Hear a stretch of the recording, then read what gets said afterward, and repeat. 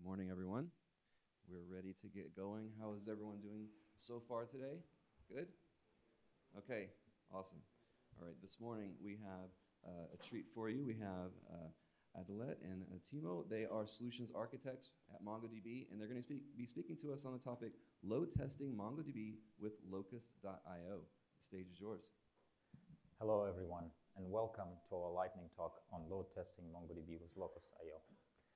You know, load testing is critical for the success of almost any application, but getting it right can be a challenge due to several reasons.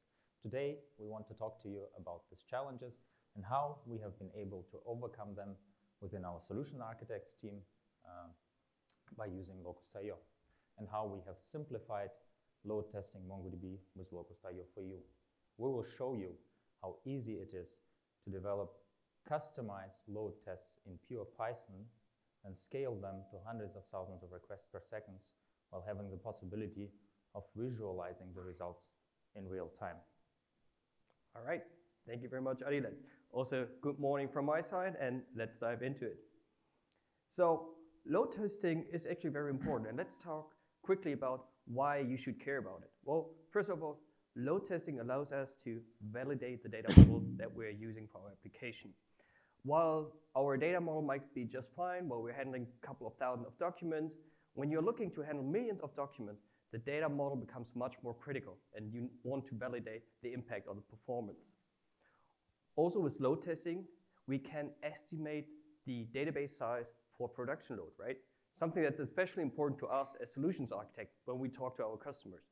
Of course, with Atlas, it's very simple to scale, either with a click of a button or Atlas will do it manually, uh, automatically anyhow. However, when we engage with customers, we want to be sure to, you know, do proper advice on, on sizing.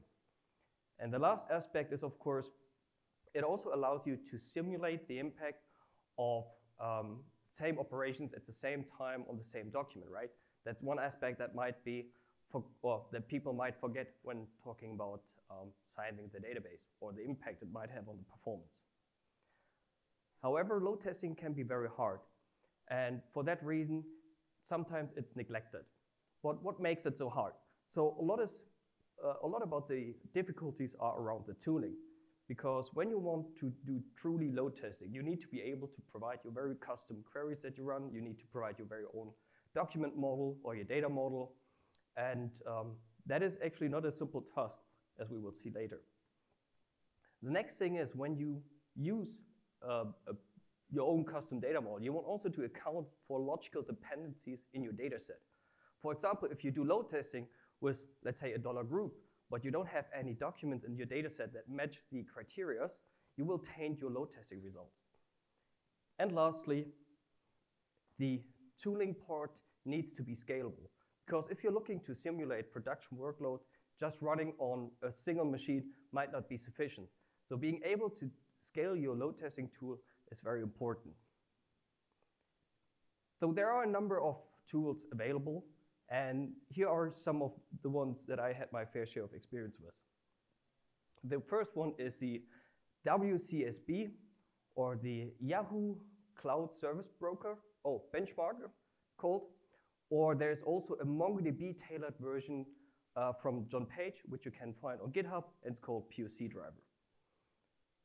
This tool is very easy to use. It's more or less just running one command. It will give you very extensive um, statistics on the database performance. So on that part, it works great, and it does its job well, which is benchmarking database solutions. However, it is fairly difficult up to impossible to provide your very custom queries to it and provide your own data model to it. And scaling is possible, but rather difficult. Another tool is JMeter. JMeter is a well-known um, performance testing tool. It is also very powerful. Um, it can, you would use it with the MongoDB Java driver if you're looking to implement your own custom code there to test it. Um, and it can scale. It has a great UI. However, as a first-time user, it is actually rather hard to utilize. So it takes some time to get used to it and scale it. And the last option I want to mention is, of course, developing your very own tool. And an that would be an ideal case, right? If you would have all the time of the world, you could develop your own load testing tool. You could take care of all dependencies that you need to look out for. You can make it very customizable to fit to your specific use case. Um, and scaling and usability, you can take care of that, right? The only problem with that is if you're looking to develop all aspects of a load testing tool yourself, it will actually cost you a lot of time and effort up to the point where it's more or less undoable. And therefore, Adilet is going to introduce us to Locust.io, which is looking to combine the benefits of a pre-built tool and a custom development. Thank you, Timo. So what is Locust.io? Locust.io is an open source performance testing tool that is being actively developed and used by companies like Google, AWS, Microsoft, and many, many others. With Locust.io, you can define your load tests in pure Python. And as you know, Python is one of the most uh, popular programming languages, and there are libraries for almost every thinkable and unthinkable scenario uh, that you could use for your tests. But being able to write your tests in pure Python is not the only advantage of uh, Locust.io. With Locust.io, you can scale the workloads due to its uh, distributed architecture, and you can also visualize the results in real time and control your test through a built-in GUI that is being exposed uh, by a built-in web browser. So um, let's look at the most basic example of creating a test workload in Locust. Here on the slide, um, we can see this example. So what we need to do is to define a new class that, that will contain the operations that we want to run against our database. And then every instance of Locust will instantiate uh, an instance of this class and basically start running the operations uh, that are defined within it. So let's go over the code from top to bottom. There are a few things that I would like to highlight here. The first is the optional possibility of setting the think time between the um, execution of operations. And here with us saying that Locust should wait between one and five seconds um, after running a certain operation. The next thing I would like to highlight is the onStart method that is going to get executed every time a new test is started.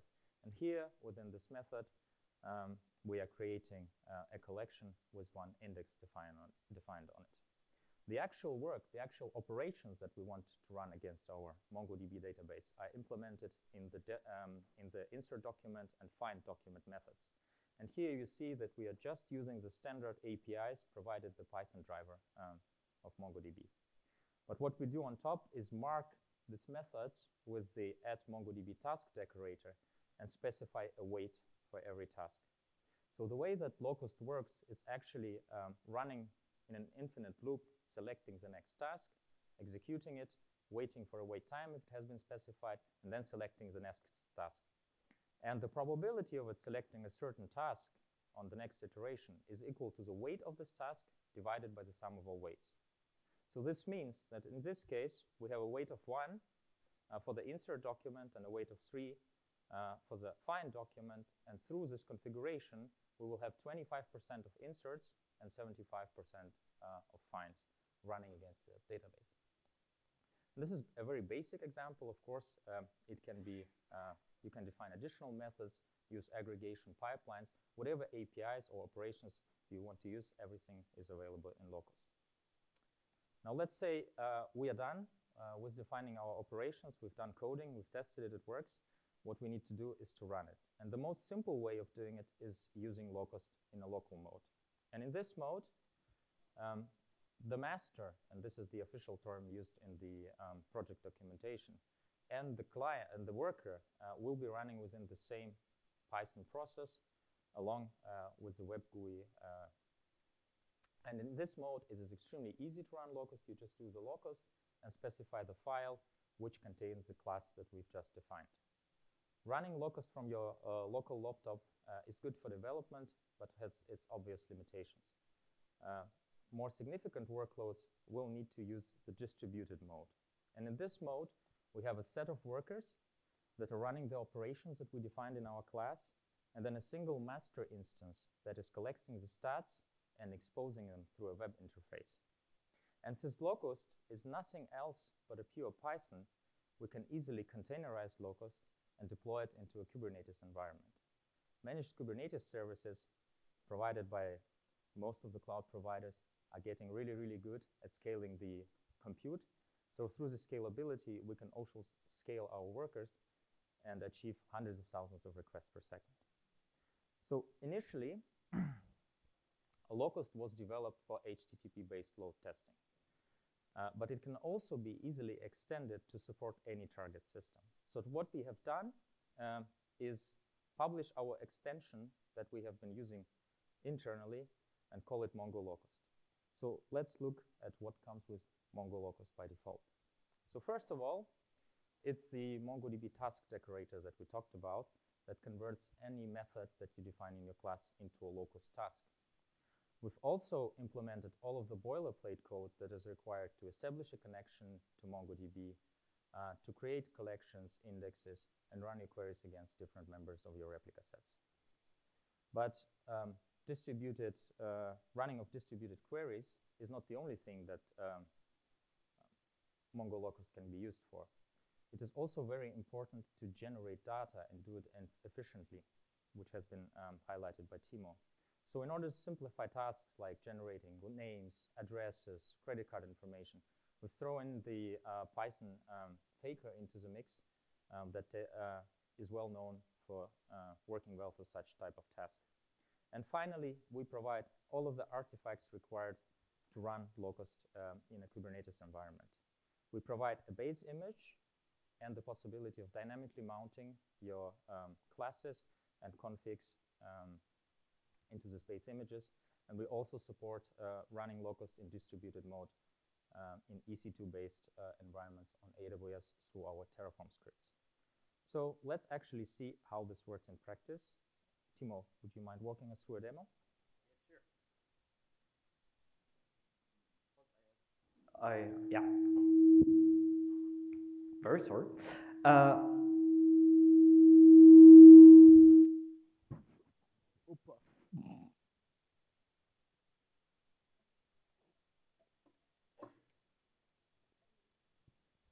it was going so well until now. All right, great. Then let's look at it in action.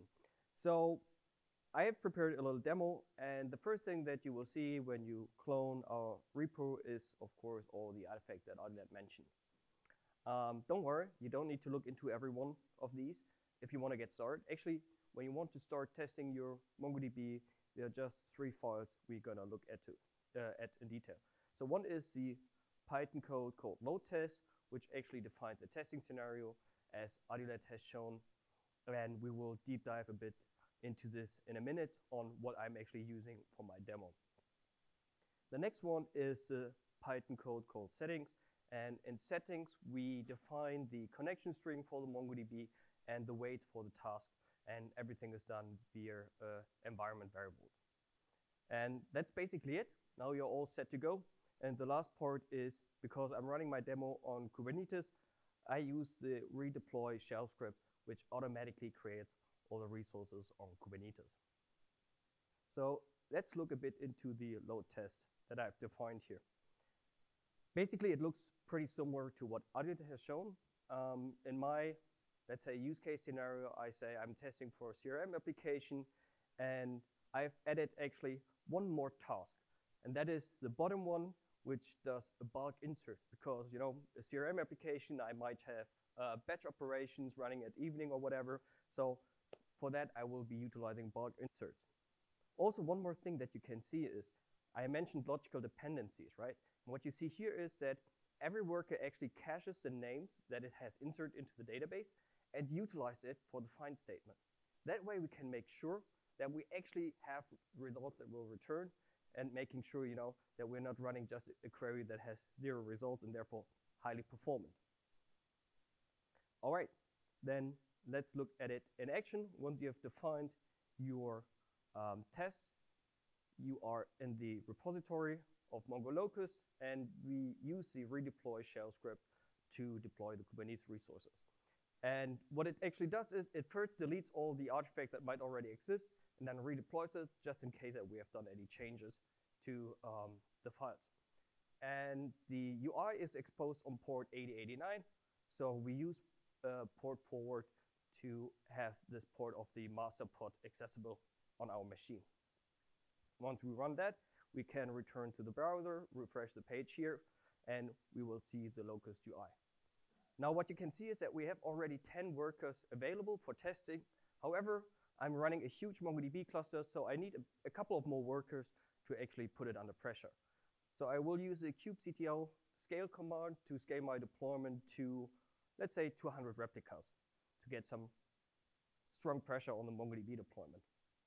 Once I've used the command, I can return to the UI, and on the top right, you can see now that workers are being added as pods are created and added to the Locust cluster. Once I've reached 200, I can start my test. I will use 200 users with a spawn rate of users per second um, and start my test. Now on the top right, you see how many users are currently spawned. I see the statistics for each task that I've defined. And for each task, I see how many requests have been um, executed up to this point, how many might have failed. I see the response times in, re uh, in regard of the median, the 95 percentile, the average, mix, man, uh, max and min values um, over the whole period of testing. If I want to look into the historic, let's say, development of my response times, I can go to the charts. And on charts, I actually see the overall uh, response times uh, over time. So here I can see at the moment we are running 130,000 requests per second against my MongoDB, and I can see how that developed over time in regard of response time. Let's look at the Atlas cluster that I'm using. I'm actually using an M60 on AWS, and we can use the real-time um, dashboard here to see what's actually happening on the database system. So here I can see um, that I have a high disk IOPS, um, and my CPU is, is, at around 20 to 30 percent. And now I can conclude my own um, findings on that. I could say, you know what, I want to see how that behaves with an M50 instead of 60 with less storage or the same amount of storage, or I could increase my storage if I say I want to have more uh, requests per second being processed. And I could either say, I stop this test, change my cluster, and rerun it, or actually let it run for hours or days, and then I would just see how the size of my cluster affects by response times. Once I'm happy with um, the test result, I go to the uh, download tab here. I download the report, and that actually gives me an overview of all the tabular information as well as the interactive charts here. Yeah, and that easy it can be to run your own load testing. And back to you, Adilet. Thank you. So let's go over the things we talked about today. We have shown you how easy it is to develop your custom test or data generation with Mongo Locust, and also shown you how easy it is to deploy it into the Kubernetes environment. And during the demo, we've shown that it was easy or possible to achieve uh, hundreds of thousands of requests per second. So here's a uh, link to the repo again. Go on GitHub, clone it, and start testing your MongoDB workloads today. Thank you for your time, come talk to us if you have any questions.